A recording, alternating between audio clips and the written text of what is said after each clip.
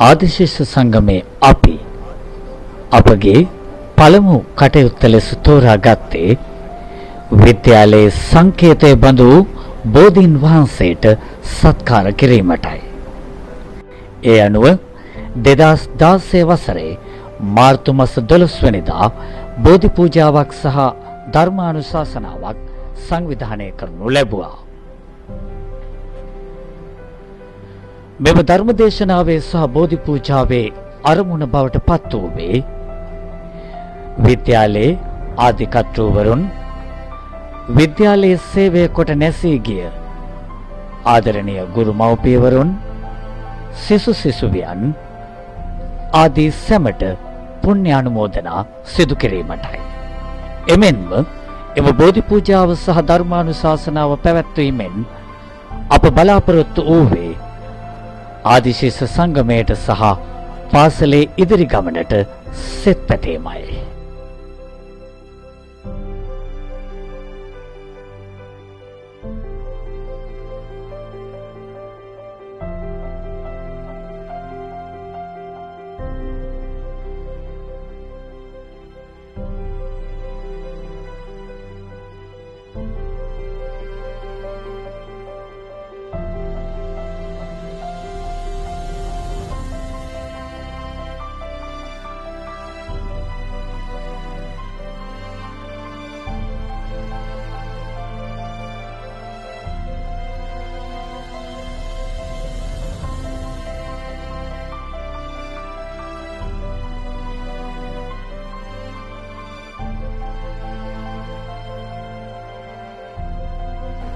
විද්‍යාලයේ ආදිශේෂ සද්ධර්ම වාගේශ්වර ගොඩකෙවල ශ්‍රී මහින්දාරාමේ පිරිවන්පති කෝම්පිටියේ සුසීල නායක ස්වාමිපාදයන්න් වහන්සේගෙන් ලැබුණු අවවාද අනුශාසනා අප කෘතවේදීව සිහිපත් කළ යුතුය.